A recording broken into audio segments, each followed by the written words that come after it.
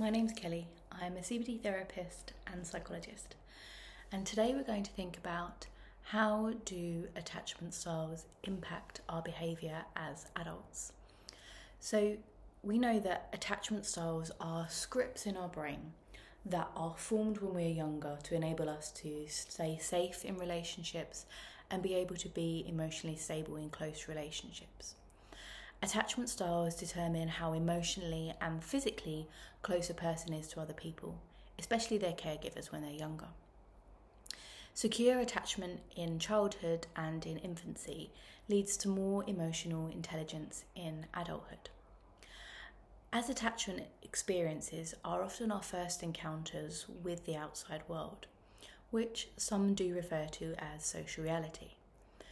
Human beings' relationship with the social world can be viewed as a reflection on early attachment experiences, particularly with their primary caregiver or a composite of their main carers. So let's think about a little about emotional intelligence.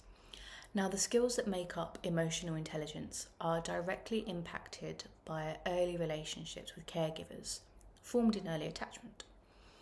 Emotional intelligence, otherwise known as the emotional quotient or EQ, is the ability to understand, use, and manage your own emotions in positive ways in order to be able to relieve stress, communicate effectively, empathize with others, overcome challenges, and also to diffuse conflict.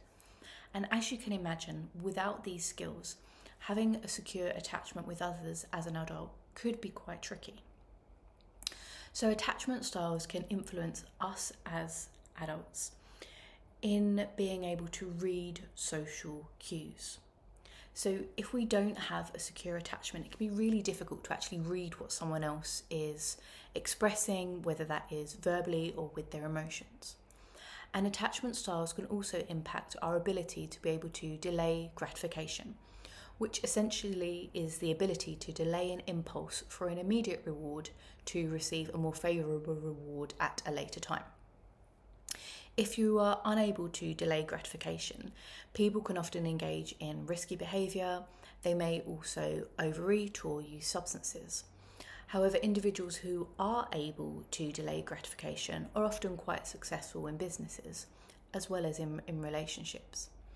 Setting healthy boundaries is another area that can be impacted by our attachment style. And if we're unable to set healthy boundaries, we can often end up in relationships that maybe aren't quite right for us, or we may be taken advantage of by others, or it may impact upon our self esteem as well. Resolving conflict is also something that is impacted by our attachment styles. We may have been shown a particular way to resolve conflict, or we may not really know how best to resolve conflict. We may completely avoid it, we may shut down, or we may become quite maybe aggressive or verbal. And all of these aspects demonstrate the impact of attachment styles on when we become adults. And there are so many other examples of this, and I'd be happy to explain more if you'd like me to. But I thought I'd just give a little insight into how attachment styles that are developed when we're growing up can also play a part when we are older. I will be doing another video about how we can actually change our attachment styles as adults. So, as always, if you like this, please give it a thumbs up and subscribe, and thank you for watching.